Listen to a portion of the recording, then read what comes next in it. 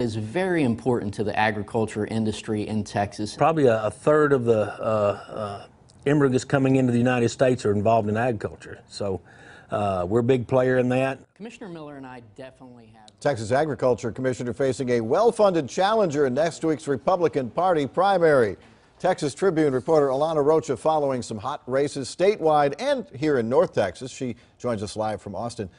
You wouldn't think agriculture commissioner would be a high profile race, but in Texas, you know, outside of the urban areas, it's a big deal.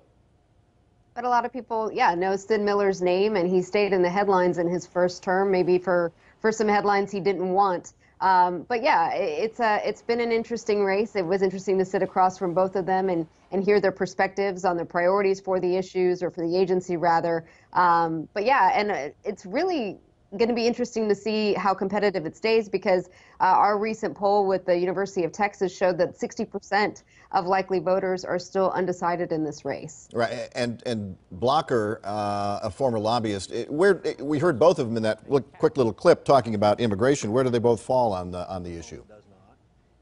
Uh, Blocker uh, wants to limit legal immigration and doesn't want to talk about a guest worker program, whereas Sid Miller uh, pretty much aligned himself with um, President Trump, not talking so much about the, the scaling back on the legal immigration, but he's very much for the wall. And, um, you know, along those lines, he is for a guest worker program, at least he said in our interview. Okay. And, and a third candidate who's a former Democrat, uh, Jim Hogan, on there as well. Let's talk about the uh, land commissioner, right. another statewide elected office that a lot of people saw as a yeah. launching pad for George P.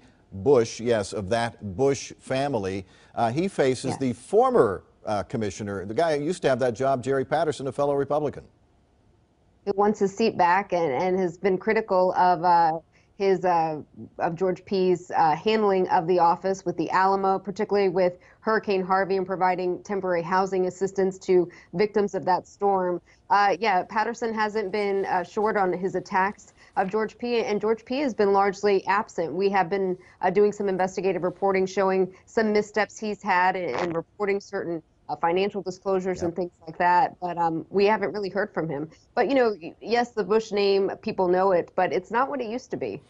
Let's talk about uh, three uh, Senate district races that, uh, that touch on, on, parts of North Texas. District 30, tiny parts of Denton and Collin County, and then way out in the country up to the Red River, State Representative Pat Fallon trying to unseat State Senator Craig Estes in uh, District 30. And it's a battle over who is more conservative? Yeah, and uh, Representative Fallon just got the endorsement of uh, Lieutenant Governor Dan Patrick. So Patrick, like Abbott has done in the House with endorsing primary challengers of sitting uh, Republicans in that chamber, he's endorsing against a sitting senator.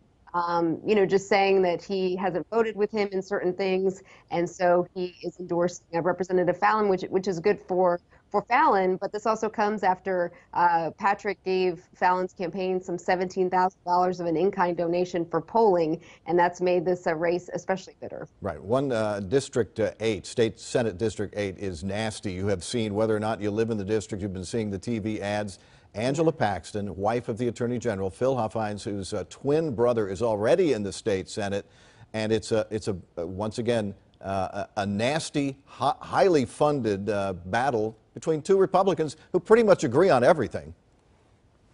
Yeah, and I mean, with the familial ties, and then Dan Patrick wading into this one again uh, by endorsing Angela Paxton, again, not the twin brother of a sitting member. Um, so, yeah, that, that's adding to the tensions. I believe I just saw Angela Paxton tweet overnight that uh, the Collin County precinct chair had switched their endorsement from Huffines to her campaign because of some of the nasty attacks that have been going on really since before she got in the race.